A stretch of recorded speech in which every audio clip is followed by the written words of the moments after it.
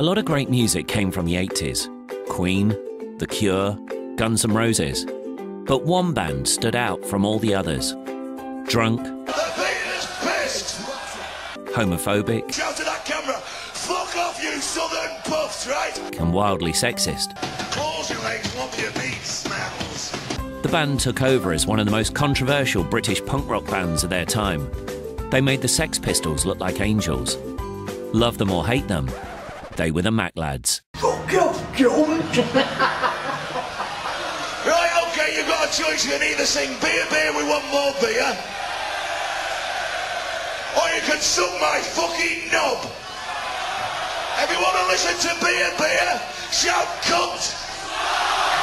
You are queer, aren't you? Fucking yeah. The cunts have it. They were known for their reckless antics and relentless irony, but did the fans take their music literally? Were the band happy? What is the truth behind their most famous lyrics?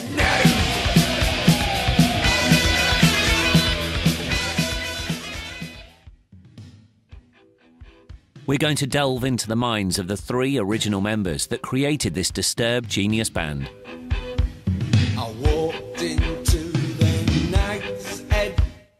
Guardian recently wrote an article about the band, claiming that their timing could have been hopelessly wrong. Had they carried on into the following decade, into a generation of music that appreciated irony, the band may have been more successful, if not chart topping. Let's take a look back to the 80s and inside the minds of the Macc Lads. So, were they happy with where they peaked? Uh, well, I suppose I left at the wrong time. It was a mistake, and uh, would have liked to travel a bit more. That's all. We didn't quite make it to America. We got banned on the way in. Got as far as Shannon Airport. Um, that would have been nice, but uh, other than that, Why did you get banned from America? um, I guess our reputation preceded us. Uh, No, no. I was absolutely over the moon. I mean, we played all over the world. Well, all over Germany anyway, and Belgium and places. We played to people that didn't even speak English. So you couldn't have thought that writing about Macc would have actually appealed to Russian speakers or people who slept on the streets in Leipzig. So it went a lot further than we thought. Here we chat to Chris Bamford, a long-time fan and friend of the band. Ah, get it down your neck. The uh, the Macc Lads lobotomised music.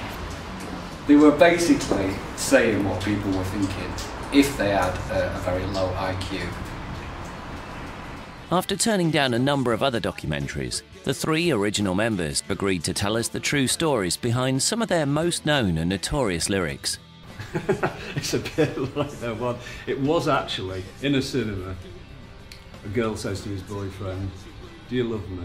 And he turns around and says, I fuck you, don't Now that's true. I fuck you, Jonah. I fuck you, Jonah. But their most famous song was about Charlotte. Supposedly, she was the biggest slag in Macc. The one thing that nobody knows for certain is who is Charlotte. But did she really exist? There was a lot of observation that we'd heard in pubs, chippies, uh, you know, things like uh, when we sing about certain women, people think they existed. But for instance, Charlotte, This bloke I know, and he fell in love with a bird that was gorgeous, but she was fucking dirty. She was Charlotte, the biggest slag in that.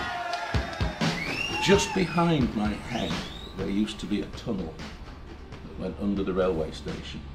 Okay. Now I know I'm looking into the camera now, because this is this is gravitas. There's a tunnel went under the railway station, and the three of us had a photo taken down there. And when the photo was developed, it said Charlotte is the biggest slag in Macc, in the graffiti behind our heads. And so we investigated and we wrote the story, word for word, true. Charlotte is the biggest slag in Charlotte was simply just graffiti, a fictional character captured in the background of a photo shoot. The Macc Lads were like Marmite, splitting a generation. Geniuses in the face of political correctness, or chauvinistic pigs. Either way, they were a force to be reckoned with, and a band that we won't be forgetting anytime soon.